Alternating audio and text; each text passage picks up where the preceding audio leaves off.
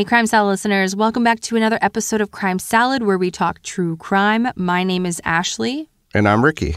And if you haven't already, subscribe wherever you're listening, please. We would greatly appreciate it. Also, thank you to those of you who snatched up some of our new merch. I am so excited about it. Check it out if you haven't already. That's crimesaladpod.com. I seriously spent like $100 on our own merch. Is that weird or normal? I don't know. But whatever, it makes me feel good. Also, thanks to our patrons this week, we have Leanne, Barbara, Karami, Sparky. Thank you guys so much. It's seriously so helpful. Enjoy ad free listening and bonus episodes in a couple weeks. It's soon. It's finally happening. Yes, thank you so much for your support. We really, really appreciate it. Now, before we jump in, we would like to give you a content warning because some of the details in this episode may be disturbing to listeners. Listener discretion advised.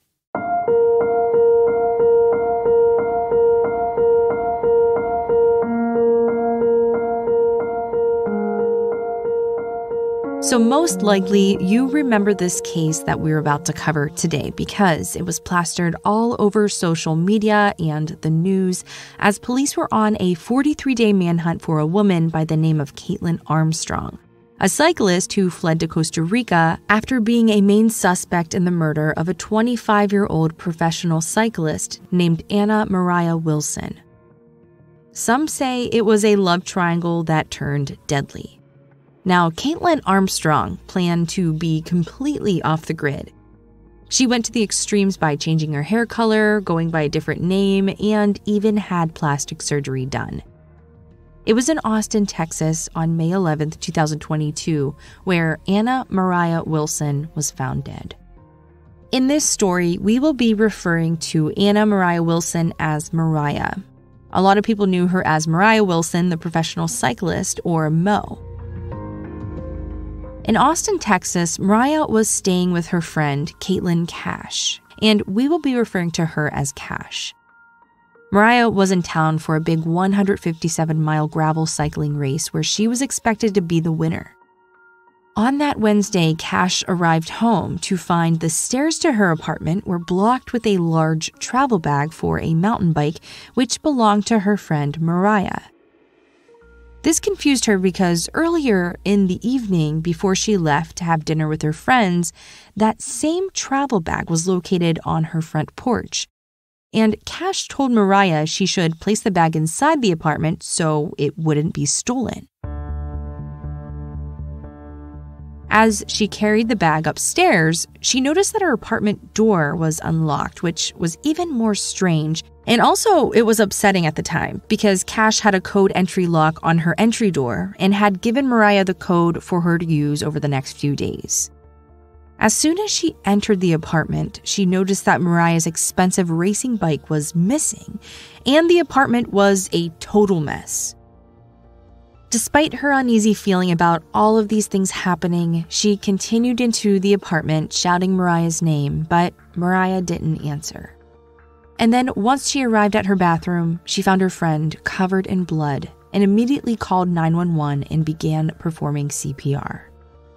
At 9:56 p.m., Officer Martin Salinas arrived at the scene and took over performing CPR. However, he noticed her severe wounds and spent 9mm bullet cartridges all around her body. The gun wasn't present at the scene, and with the types of injuries she suffered, suicide was not the answer. Once emergency medical personnel arrived, they transported her to the hospital where she was officially pronounced dead at 10:10 p.m. by Dr. Escott. Moriah had been shot twice in the face and head and once in the chest. The shot to her chest occurred while she was already down on the ground. That bullet went through Moriah's body and chipped the tile flooring beneath her. At first glance, her death looked like an execution. Cash told Officer Salinas that her friend was a professional cyclist and she picked her up from the airport on May 10th for a race she had that coming weekend in Hico, Texas. Cash told officers that she had received text messages from Moriah telling her that she was going to meet up with a friend named Colin to go swimming. Cash left at 5:30 p.m. to have dinner with her friends. And according to the app on her phone, which tells her when the front door code is used to lock or unlock her door, it appeared that Moriah left the apartment at 5:55 p.m. and arrived back at 8:36 p.m. Cash told police that Colin Strickland was the full name of Moriah's date, and he was a professional cyclist who was sponsored by Red Bull.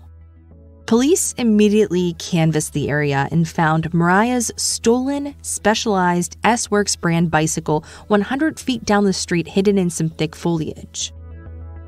Since Colin was the last known person to be with Moriah that night, police wanted to talk with him immediately. And police were able to locate Colin through social media, and when they pulled his driver's license, he had a local address in Austin. But before police could locate and talk to Colin, they needed to get to know their victim. They learned that Moriah was a 25 year old elite athlete who excelled in her field of cycling and gravel racing. Before she entered the racing field of elite cycling, she was also a star alpine skier. In her 10 year career as an alpine skier, she was nationally ranked and racked up numerous award titles. Moriah grew up in the town of Kirby, Vermont, where she attended and graduated from the Burke Mountain Academy. Burke is a college preparatory school located in East Burke, Vermont, it educates and trains alpine ski racing athletes on the slopes of the adjacent Burke Mountain Ski Resort. It started in 1970 and was the first ski academy in North America at the time. It had a long 50 year history of training alpine and Nordic skiers, producing many Olympians. So it was here that Moriah first learned the kind of discipline needed to compete at a top tier level.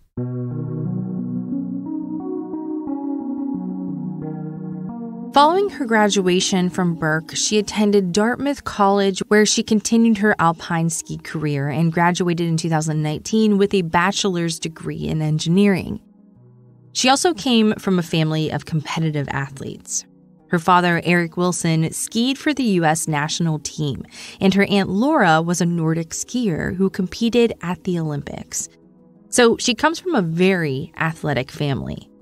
Growing up in Vermont, she spent the winters skiing and the summers training and staying in competitive condition on a mountain bike.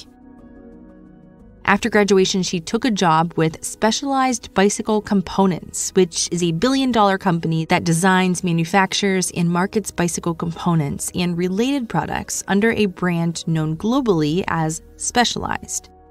It was while working at Specialized when she fell in love with the sport of gravel racing.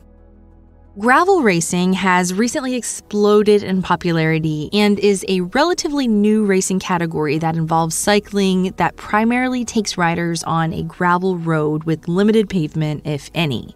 There are now gravel races across the entire globe that span from single day events to multi day epic races. Gravel racing is best described as a cross between regular bicycle cross racing and mountain bike racing. The prize amounts for these types of professional level events can range from thousands of dollars all the way up to $250,000.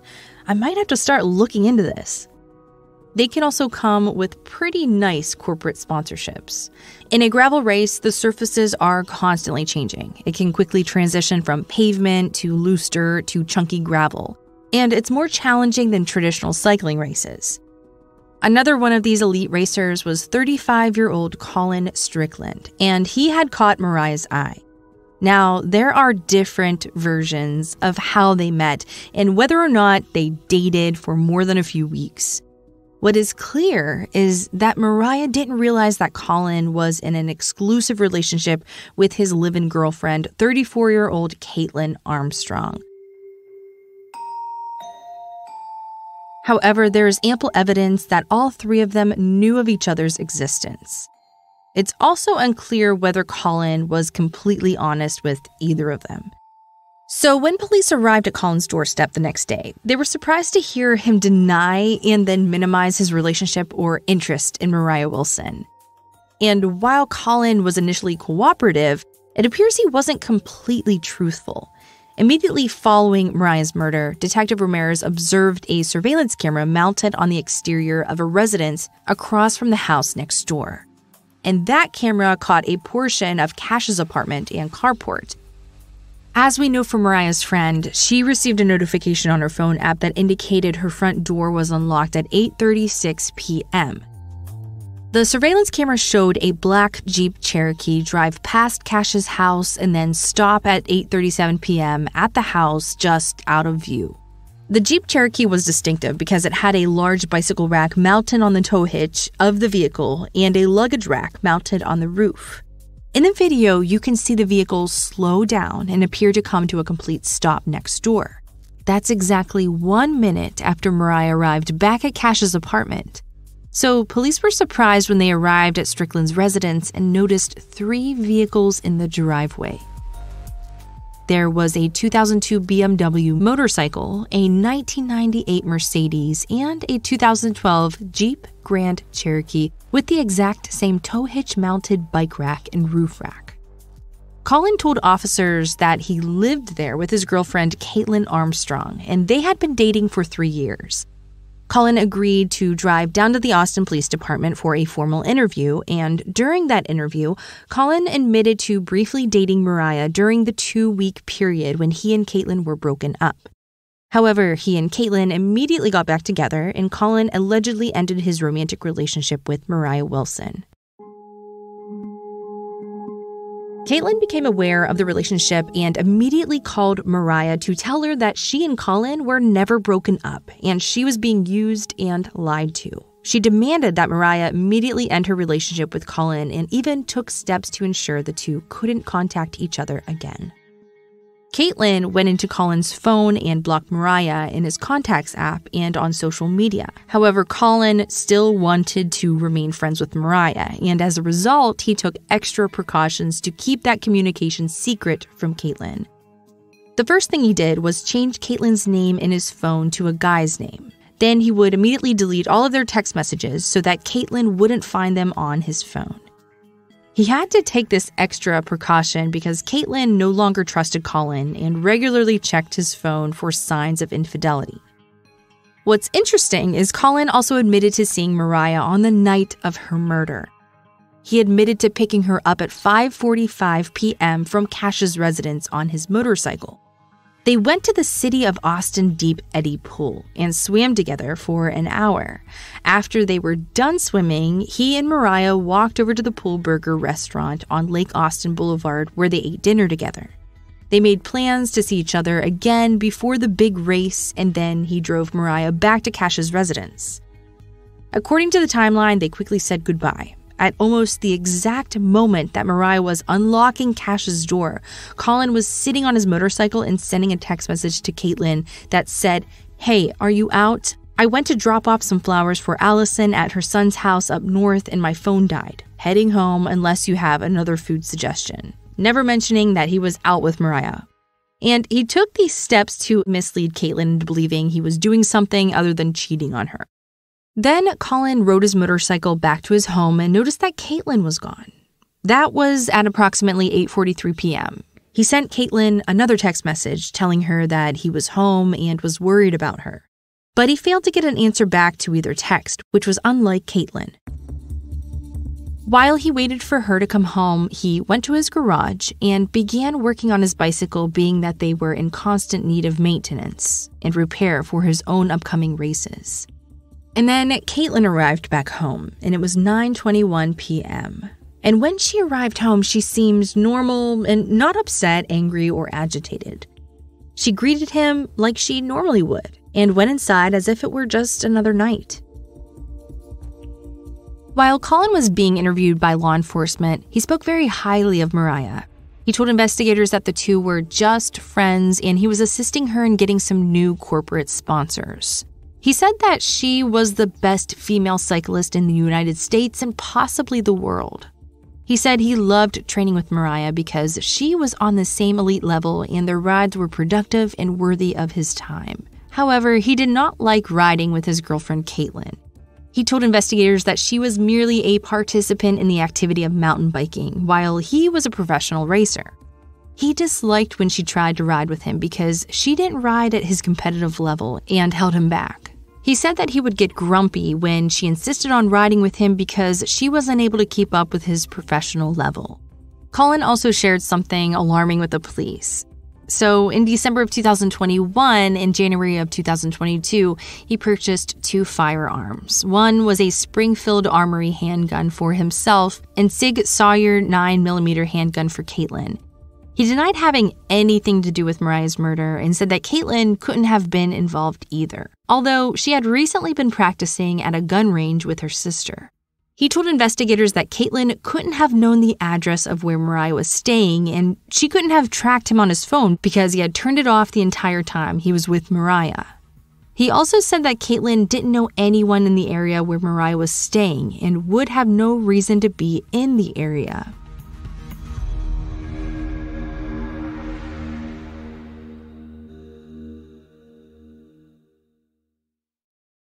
After speaking to Colin, police became very interested in Caitlin. They discovered that she had an outstanding Class B warrant for a theft charge from a year earlier. During that incident, Caitlin went to a med spa to get Botox. When her credit card was declined for the $650 charge, she said that she had another card in her car and would be right back. However, she never came back and she left behind her maxed out MasterCard with her name on it. The spa pressed charges, which resulted in the unserved arrest warrant. Once Caitlin was arrested and placed into an interrogation room, they discovered that the warrant was no longer valid. There was a discrepancy on the birth date of the warrant, so police had to tell her that she was free to leave. Go figure.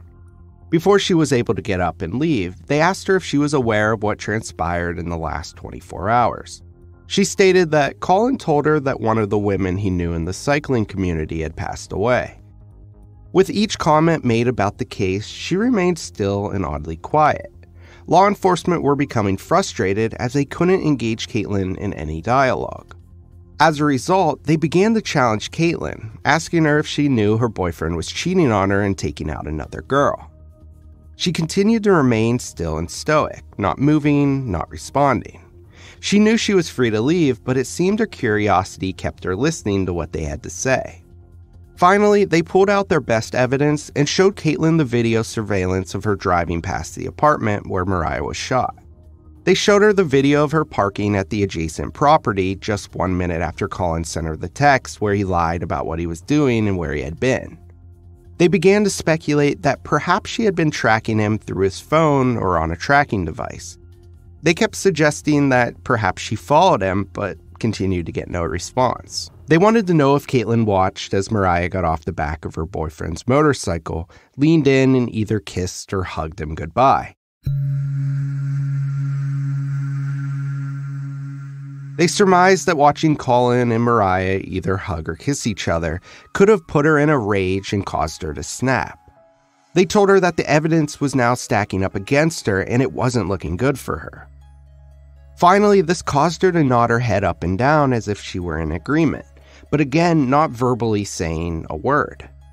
But she also never denied her involvement or the fact that she was in front of the home where Moriah was staying within minutes of their arrival. Finally, Caitlin turned her head and rolled her eyes in an angry manner. Then she said, I'm not certain as to even what you mean or what he said because I didn't have any idea that he saw or even went out with this girl as of recently. Detective Connor suggested that maybe she didn't know anything and just happened to be in the area, and Caitlin once again began nodding and agreeing. After a long period of continued stillness and silence, the police ended the interview. But they did serve a search warrant on her home and seized all of her and Colin's guns. Preliminary forensics said there was a high likelihood that the shell casings found near Moriah's body came from Caitlin's gun, and soon the forensics lab would definitively prove that Caitlin's gun was the murder weapon. In the meantime, there was a lot of talk and gossip going around the cycling community, which caused Colin to lose his corporate sponsors. He released a statement on social media that appears on its face to be filled with half truths based on the police reports. Here is Colin's carefully worded statement I am reeling from grieving Moriah Wilson's death from the facts that have emerged during the investigation. I cannot begin to imagine the pain felt by Mo's family and her close friends. There is no way to adequately express the regret and torture I feel about my proximity to this horrible crime. I'm sorry, and I simply cannot make sense of this tragedy. Although it will be a matter of small consolation to anyone else who cared for Mo, I want you to know that I have cooperated fully with investigators ever since I learned the terrible news, and I will continue to do so until some form of justice is served. As a point of clarification to facts previously reported, Moriah Wilson and I had a brief romantic relationship from late October to early November 2021 that spanned a week or so while Wilson was visiting Austin. At the time, she and I both recently ended relationships. She returned to her home in California, and about a month later, Caitlin Armstrong and I reconciled and resumed our relationship. Since then, I have often saw Moriah at cycling events and always in public settings. We both competed in Bentonville, Arkansas, and in Stillwater and Monterey, California. We also met for a four hour training ride in Santa Cruz after the Sea Otter Classic in Monterey. After our brief relationship in October of 2021, we were not in a romantic relationship, only a platonic and professional one.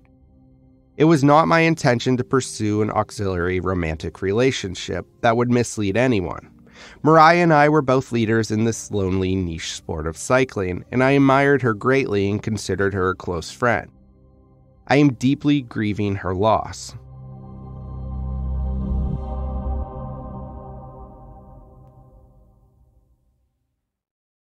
Now, portions of that statement appear to be false.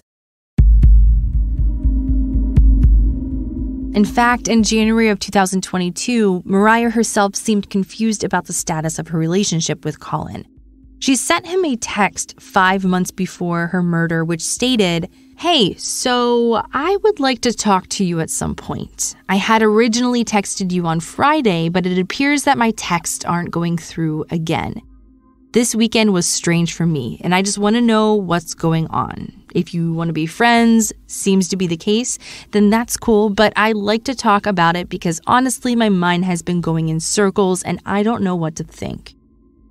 From her text message, she was referring to seeing Caitlin and Colin together at a bike race. According to anonymous sources, which seemed credible enough to make it into an arrest affidavit, Colin was seeing both women at the same time. And according to this source, he was allegedly telling Caitlin that Moriah was pursuing him, but racing is a small world, and he wanted to keep things professional and friendly. He convinced Caitlin that he was only helping her out to get some corporate sponsors. And it appears that neither woman fully believed him.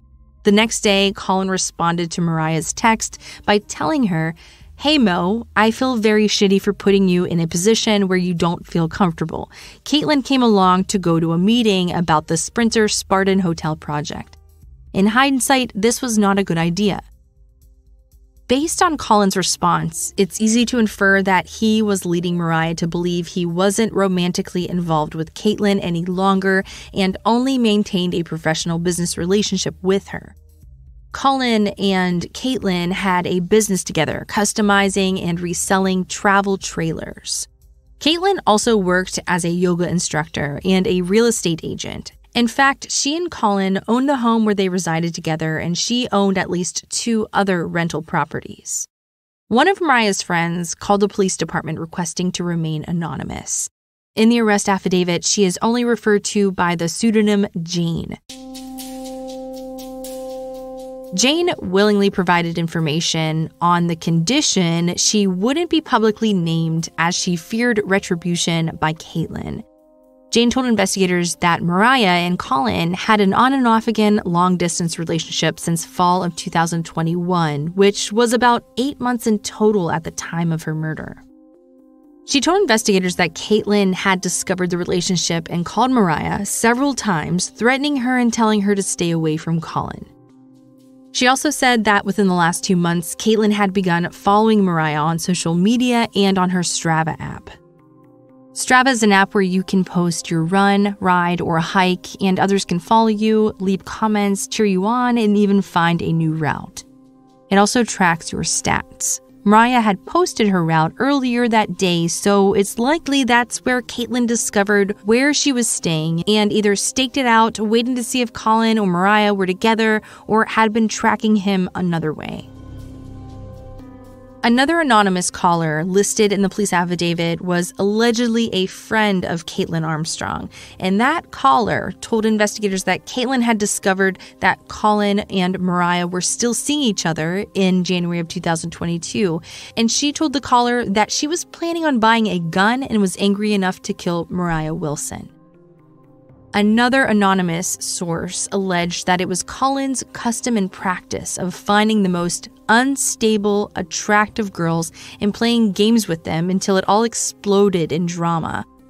They further alleged that his past relationships ended in property damage and restraining orders.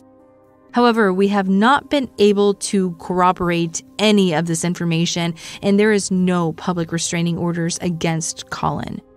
In fact, police were able to completely and empathetically clear Colin's name in Moriah's murder through phone data and video surveillance that showed he immediately left the area after dropping Moriah off at Cash's apartment.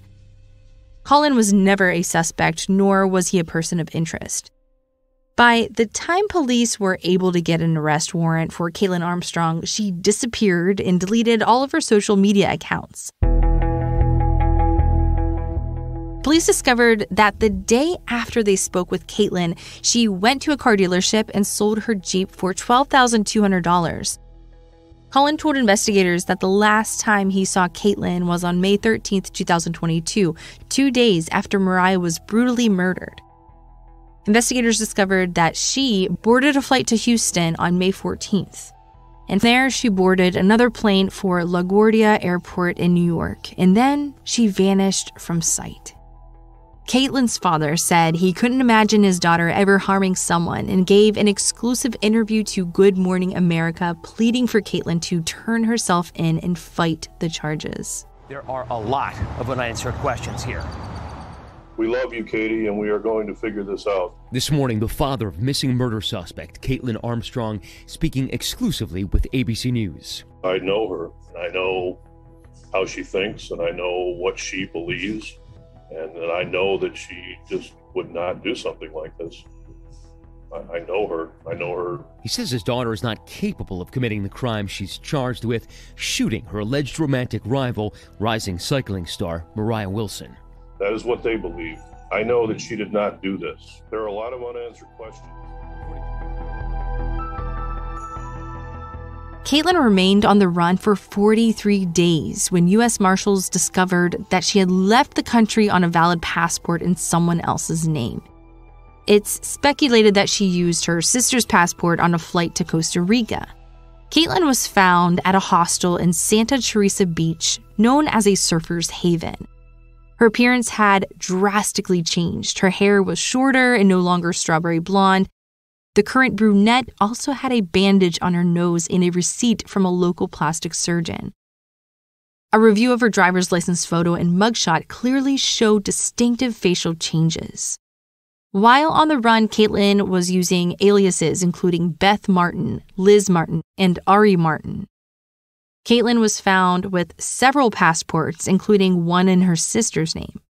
Federal law enforcement agents from Homeland Security discovered that Caitlin flew to Costa Rica using a passport of someone that was closely associated with her. There is a lot more to the story which has yet to be revealed. Those details will either be revealed at the time of the trial or through a plea bargain agreement. Apparently, Caitlin also had time to date while she was on the run. She dated a man named Teal Akerson, a local surf instructor, and in an interview he gave to the Associated Press, he stated that Ari was a strange person. I met her right outside the tattoo shop, Good Life Tattoos, where her friends were getting tattooed, so she was waiting outside on the bench. She said that she had just been through a real traumatizing breakup and she hadn't healed from it yet and wasn't ready to get close at all. So, after a few dates, we were just friends. He even mentioned that he would see the photos of this woman on the news and on social media regarding the manhunt, but with the name difference and the old photos that they were using that didn't show her plastic surgery or the same hair color, it didn't even cross his mind. But when he looks back at all the little details, it makes sense. Like how she was always wanting to be away from the touristy areas and stay in secluded places. I'm wondering if this guy will ever date again. Once Caitlyn was extradited back to Texas, her attorney requested a speedy trial. In a statement to the press, he stated that, quote, Miss Armstrong wants her day in court. She wants a trial, and you heard the district attorney threaten sanctions over her desire for a speedy trial. As a matter of course, cases should not be indicted if prosecutors are not prepared to proceed. We will file motions challenging this investigation and challenging the conduct of the Austin Police Department. End quote. Moriah's family also had a brief statement for the press in which they denied that their daughter was in any type of serious relationship with Colin. They stated that, quote, while we will not elaborate about the ongoing investigation, we do feel it's important to clarify that at the time of her death, those closest to her clearly understood directly from Moriah that she was not in a romantic relationship with anyone, end quote. Colin, who has been completely cleared in Moriah's death, has suffered severe backlash from the cycling community. His sponsors have dropped him, and he is currently waiting for justice. He also revealed that prior to Moriah's murder, he had given Caitlyn $450,000 to invest for him. He has requested that she return the money, but so far she has refused. And in an interview he recently gave to the Sun newspaper, he said that Caitlyn had different sides to her personality that he didn't think were shared with anyone else in her life. It was a side he never saw or could have imagined existed. He described her as, quote, one of the least volatile people I have ever met. I had no indication of anything like that, end quote. He continued to state that he and Moriah were only friends and had only briefly dated in the fall of 2021 when he and Caitlyn briefly broke up. In his interview with The Sun, he stated, quote, I had ended the relationship with Caitlyn, and it was just an interesting timing because Moriah had come to Austin to visit a friend that exact week. It was completely unplanned, and yeah, we started spending some time together. It was clearly expressed to Caitlin at the time, and Caitlin dated other men directly after that. We were clearly going our separate ways, but we just didn't get enough inertia to physically separate. I'm just in shell shocked grieving mode. I'm not really thinking of Caitlin anymore, as that is outside the realm of my control. Obviously, she is not the same human that I knew. End quote. Colin wants to put this entire tragedy behind him, spending his days working on cars. He ended his interview by stating that, quote, My heart goes out to everyone who has more deeply traumatized by this than I was, end quote. He also said that he understood why sponsors and races had decided to distance themselves from him. But the record will be straightened out in October of this year when Caitlin Armstrong goes on trial for the senseless murder of Anna Moriah Wilson a murder she committed out of spite, jealousy, and revenge. Moriah was an intelligent, talented, and gifted person that deserves to be remembered by friends and family for the life she lived and the love she personified. Thank you all so much for listening to this week's episode. We will be with you next week.